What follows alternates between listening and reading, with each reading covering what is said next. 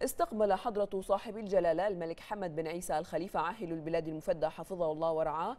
نائب الرئيس لخدمات الويب العالمية في القطاع العام ومسؤولة التطوير الاستراتيجية والعمليات والمبيعات والأعمال لخدمات موقع أمازون التي تزور البلاد حاليا للمشاركة في أسبوع التكنولوجيا. ورحب جلالة الملك المفدى بالسيدة تريزا كارلسون منوها بالتعاون القائم مع شركة أمازون لخدمات الويب في مجال تقنية المعلومات والاتصال في ظل اهتمام المملكة بهذا القطاع الحيوي وتنمية دوره. وأكد أكد جلالته على أن توفر أو توفر مملكة البحرين وما توفره من بنية تحتية لتقنية المعلومات والاتصالات وما تتميز به من موارد وكفاءات بشرية مدربة ومؤهلة مشيرا إلى الموقع الاستراتيجي المهم للبحرين والذي يجعله وجهة مفضلة لمختلف الشركات العالمية الرائدة في هذا القطاع. ونوه جلالته حفظه الله بما حققته المملكة من إنجازات رائدة في قطاع تكنولوجيا الاتصالات والمعلومات على الصعيد الإقليمي والعالمي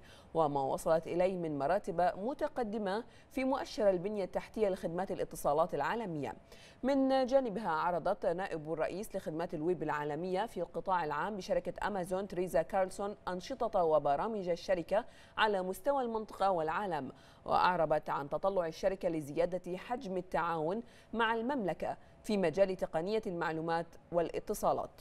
مشيدة بالمزايا والحوافز الاستثمارية التي توفرها البحرين في هذا المجال وما تتميز به من بيئة استثمارية جاذبة للشركات الدولية.